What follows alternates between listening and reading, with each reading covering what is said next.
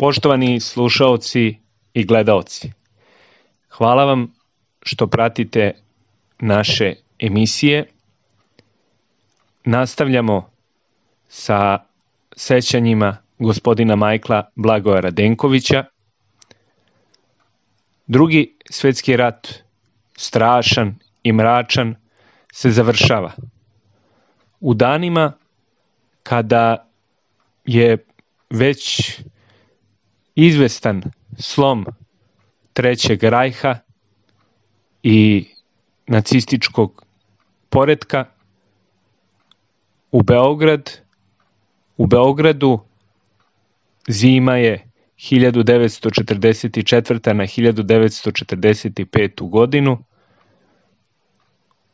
pamtit će mnogi po jednom događaju koji se zbio, a to je smrt Vojvode Bojovića. Gospodin Michael Blagoje Radenković bio je, kao što smo čuli iz prethodnih emisija, komšija proslavljenog Vojvode i sa nama će sada podeliti svoja sećanja na upravo taj dan, na te čase kada je on preminuo, odnosno kako je izgledao ispraćaj Vojvode Bojovića. Takođe, to će sve biti uvod da nam gospodin Michael Blago Radenković iznese svoje svedočanstvo na te dane koji su nastupili posle pada Trećeg rajha, posle poraza fašističke Italije i nacističke Nemačke, ali i dana koji su njega odveli daleko od rodne zemlje, od Srbije i od Beograda. Poštovanje gospodine Radenkoviću i hvala vam što sa nama delite vaša sećanja koja su nesumnjivo veoma vredna i koja svima nama omogućavaju i pomažu da bolje razumemo našu prošlost, a naravno poznajući prošlost možemo da iz nje naučimo i donesemo životne odluke za budućnost. Dobro večer i srećno svakom slušalcu. Jedva smo čekali za vreme rata da se završi ta okupacija Nemaca i da dođe neko oslobođenje. Polagali smo nadu da će bolji dani da nas nastanu, ali iskreno da vam kažem, nije, prosto ne znam kako da, da stavim na, na vagu gde je bilo gore, da li pod okupacijom Nemaca ili pod najezdom Brozovaca. Mi smo se radovali da nam se desi nešto novo, da dođu da nas naši ljudi oslobode, ali to je bilo više novo robstvo nego oslobođenje. Bilo je upereno sve antisrpsko. Mada su to i došli, novo došli ljudi bili Srbi.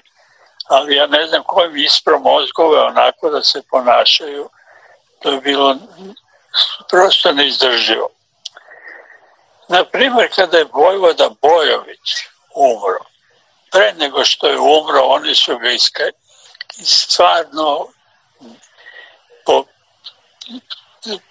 po, po, po, ponašali su se prema njemu kao, kao, kao nekom neprijatelju, a ne srpskom vojvodi.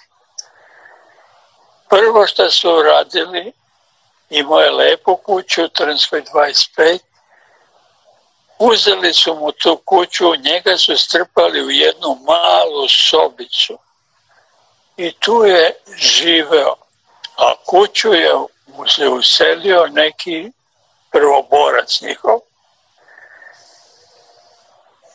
nikakve, kao da je bio u nekom zatvoru. Tog dana kada je on umro, ja se se bivili sećam,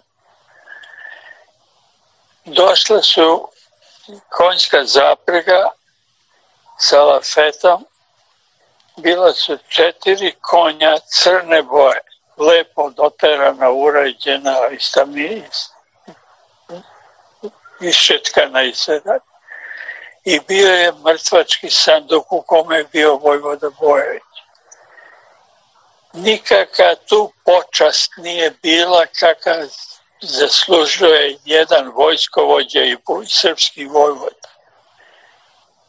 Ljudi su videli to pred njegovu kuću i shvatili su o čemu se radi bez da im je iko šta rekao. Mi smo se klinci skupili tu isto, stajali smo pred kućom. Bile su neke žene koje su držale sveću, sveću u rukama. To je tako brzo prohujalo i sklonili su sve sa ulice samo da se ne vidi da je srpski vojvoda tu. Ceo taj period posle dolaska Brozovaca u Beograd bio je strahoviti pritisak kao da su dobili novog okupatora. To je bilo neizdrživo.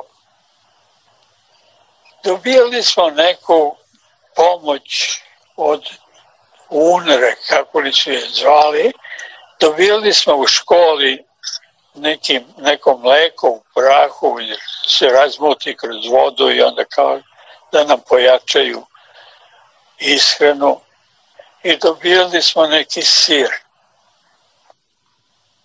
Onda smo dobijali neke iscepane, zakrpljene engleske uniforme koje su englezi izbacili iz upotrebe svoje voći, onda kao to će biti dobro za ove Balkance. Kada se u školi to delilo, oni su već bili napravili ko je podoban, a ko nije podoban. Ja sam imao neke papuče, nisam imao cipele. I tamo su donijeli neke zakrpljene cokule od, nema, od uh, engleske vojske i onda neka profesorka srpskog jezika koja nije imala vog, nogu izgubila kaže, u, u, u borbi. Ona je delila te cokole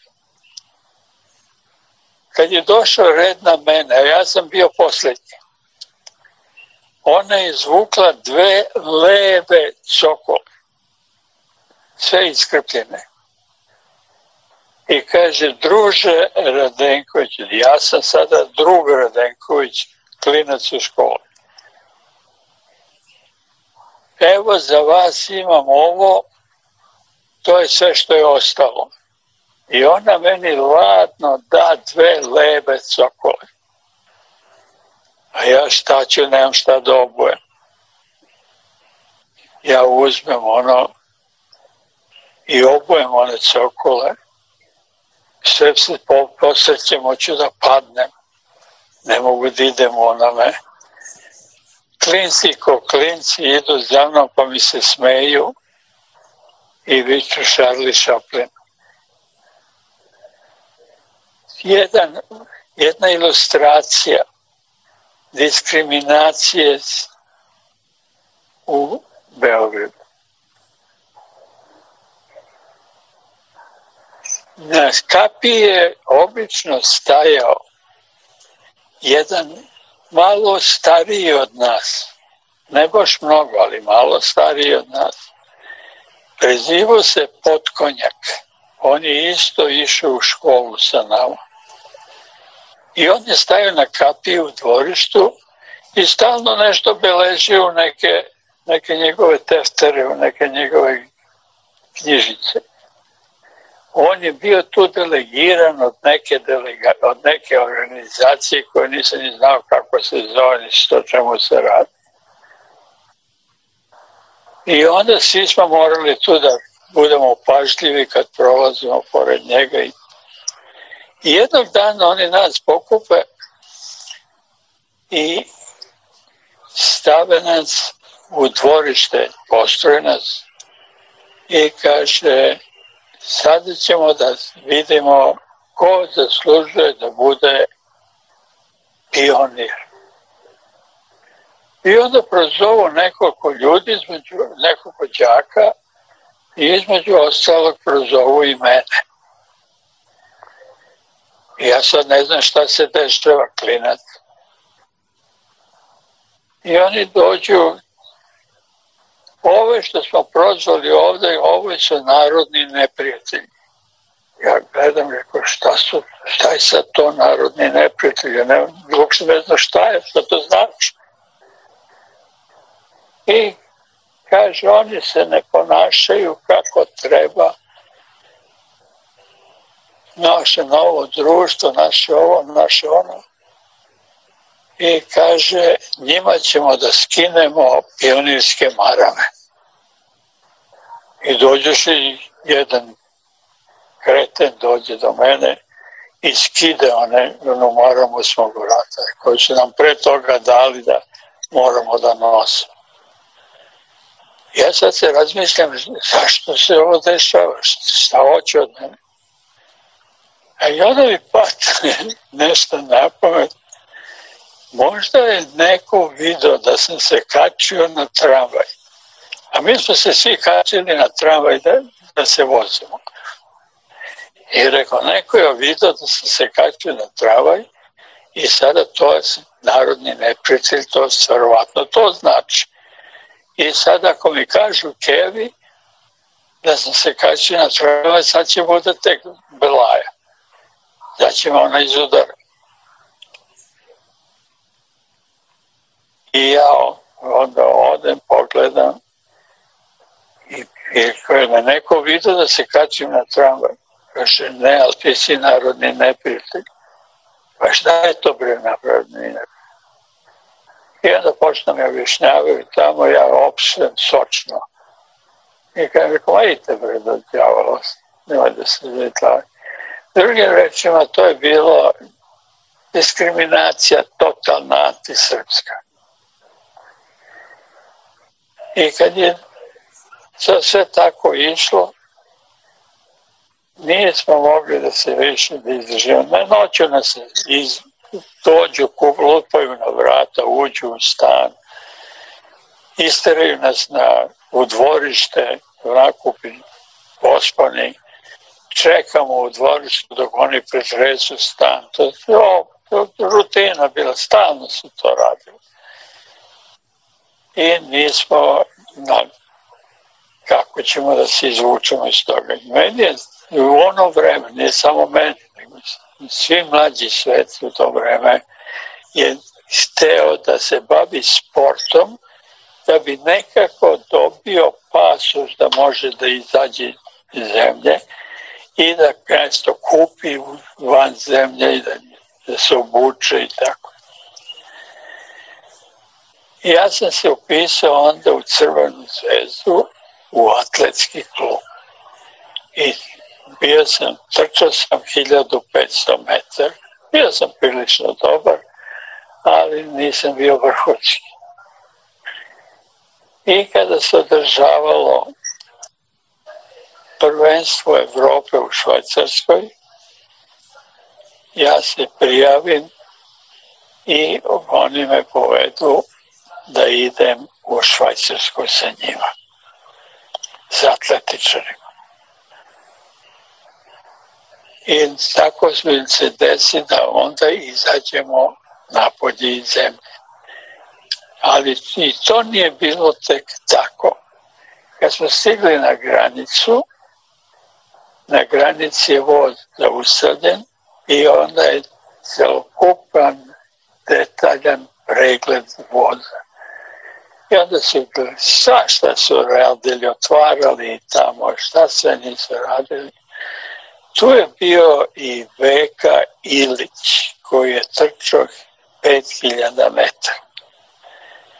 I on je sakrio, evo sad se sećam toga vrlo dobro, on je sakrio neke pare koje nisu smele da se iznose u vekni hleba. Gurno na nožić gurno unutra. I kada su tu došli na pregled, oni su zvatili nekoliko tih mladića i odveli na stranu i pretresli ih od, od glave do pete. I na sreću nisu našli ništa što se njih, što se njih interesovalo. A Veka Ilić uzme onu, onu veknu i onaj što nas je pretresao kaže preseci tu veknu. Toliko su išli daleko. I Veka Ilić uzme nož i baš metne tamo gde uguro te pare. Kaže, hoćeš ovde da, da presečem? Ona kaže, ne, nego ovde. I onda na drugom mestu ode i tako da je to prošlo caka i nisu nas uvatili da švercemo. Kad smo se vraćali iz Švajcarske, ja sam već bio rešio, ja to, ovo više ne mogu da izdržim. Ovo, ovo je propast. Ovo je gore nego nacisti kad su bili u Srbiji. E, kad smo se vraćali nazad u nekom mestu koje se zove Švarcar, tu smo menjali voz. I onda ja sam nekako izmanevrisao da ostanem poslednji koji izlazi iz voza.